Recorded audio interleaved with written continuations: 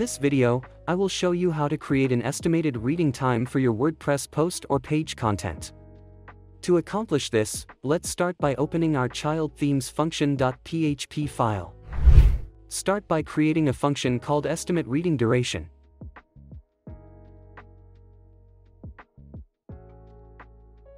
Inside this function, we will create a variable called content and assign it to get the post content.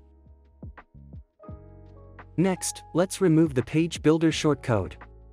This is optional, but this is recommended if you have a page builder since it will also count the texts that have been outputted from the page builders. Next, let's strip out the tags from the post content.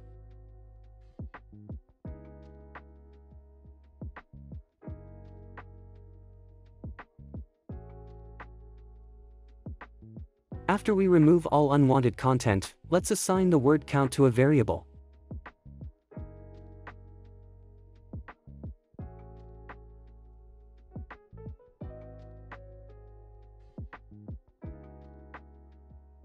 Set the average reading speed.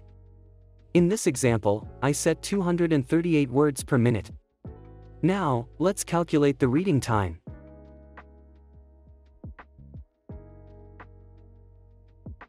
In this line, we calculate the estimated reading time for a piece of content based on the word count and an average reading speed.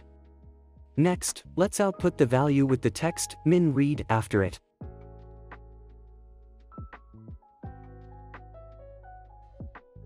Finally, let's register this function into a shortcode called readEstimate.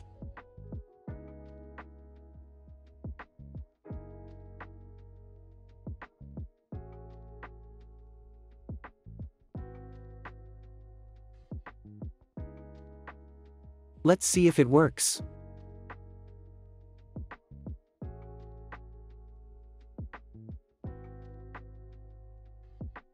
You can also use this shortcode on your custom templates or even pages.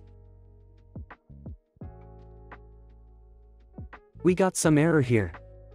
Now let's go back and fix it.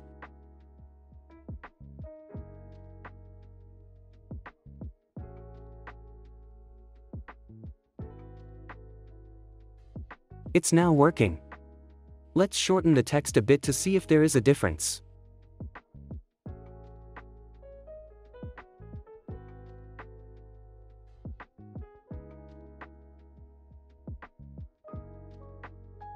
Thank you for watching.